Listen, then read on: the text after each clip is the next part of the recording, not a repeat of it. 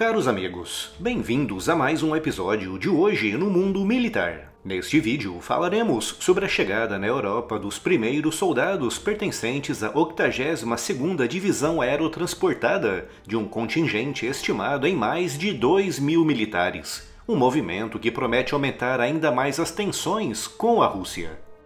Se ainda não está inscrito no canal, inscreva-se já e acione o sino das notificações para não perder nenhuma novidade. E se quer se manter sempre bem informado sobre tudo o que acontece na área, siga o site do Hoje no Mundo Militar. Notícias atualizadas a todo momento e um time de comentaristas de primeiríssima linha. O site Hoje no Mundo Militar é a sua dose diária de informação militar e geopolítica. O link está na descrição. Ontem, dia 6 de fevereiro, os primeiros soldados da 82ª Divisão Aerotransportada começaram a chegar ao sudeste da Polônia. Os primeiros de um contingente total de 2 mil soldados que estão sendo enviados de Fort Bragg, nos Estados Unidos, para a Europa. Além desses 2 mil militares, outros mil atualmente destacados na Alemanha serão enviados para a Romênia, onde reforçarão um contingente de 900 soldados já destacados naquele país desde 2020. Outros 8.500 soldados foram colocados em estado de prontidão para envio imediato para a Europa pelo secretário da Defesa Lloyd Austin com o presidente Biden dizendo há algumas semanas que, se for necessário, o seu país é capaz de enviar para a Europa um contingente total de 50 mil militares. É importante notar que, nesse momento, sem nenhum reforço, o número de militares dos Estados Unidos na Europa já é de quase 80 mil, destacados principalmente na Alemanha e na Itália, com a Polônia vindo em terceiro lugar com cerca de 4 mil militares, um número que aumentará para 6 mil com esse atual reforço. Toda essa operação de reforço na Polônia está sendo coordenado pelo Major-General Christopher Donoghue, o comandante da 82ª Aerotransportada, que já está na Polônia desde sábado, 5 de fevereiro, de onde disse que os seus soldados continuarão chegando ao país ao longo dessa semana. O envio desses soldados foi ordenado pelo Pentágono em meio ao aumento das tensões com a Rússia na Ucrânia. No entanto, como foi bem frisado pelo presidente Biden e também pelo Pentágono, esses militares não serão enviados para a Ucrânia, mas sim para os países membros da OTAN no leste europeu, como uma forma de aumentar a defesa daqueles países em um entorno geopolítico cada vez mais tenso. Como era de se esperar, a Rússia reagiu muito mal a esse intenso movimento de tropas dos Estados Unidos na Europa, com o Kremlin dizendo tratar-se de um passo destrutivo tomado pelo Pentágono e que só servirá para aumentar ainda mais as tensões. Como muitas dessas novas unidades reforçarão outras já destacadas próximas de Kaliningrado, um esclave russo encravado no meio da OTAN, a região onde a Rússia mantém a sede da sua importante frota naval do Báltico e também muitas unidades militares terrestres e aéreas. A preocupação de Moscou é mais do que justificável, já que em caso de conflito na Ucrânia, aquelas unidades russas em Kaliningrado ficariam bastante expostas às tropas da aliança que literalmente cercam a região.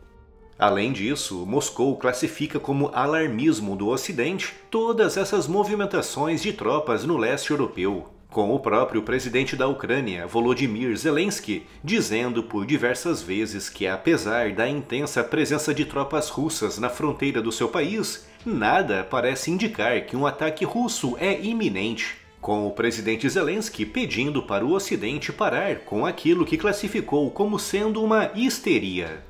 Alarmismo ou histeria, o fato é que a Rússia mantém mais de 100 mil soldados destacados ao longo da fronteira ucraniana, com outros 30 mil em um exercício conjunto na Belarus, um país cujas fronteiras estão a pouco mais de 70 quilômetros da capital ucraniana. Com Moscou financiando e apoiando separatistas pró-russos em uma guerra em Donbass que já se estende por quase oito anos com a Rússia não parecendo disposta a retirar as suas tropas e com milhares de soldados dos Estados Unidos e da Aliança se movimentando no leste europeu, a tensão na região parece cada vez mais longe de terminar. E se gostou do vídeo e se quer incentivar o canal, não se esqueça de deixar aqui o seu like e de o compartilhar com seus amigos. E confira também as incríveis novidades da loja. Além de adquirir aquele presente super bacana, ainda estará apoiando diretamente o projeto do Hoje no Mundo Militar. O link da loja está aqui na descrição.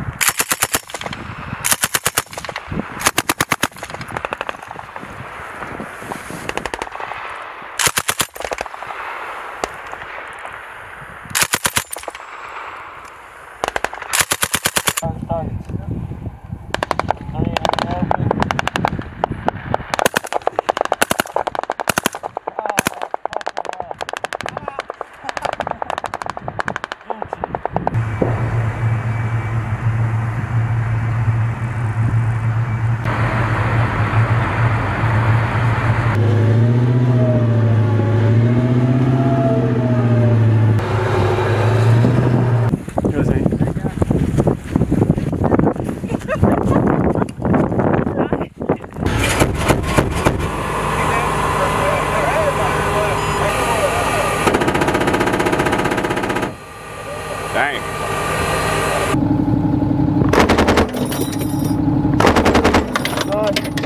Three hundred infantry. Got it. Half right.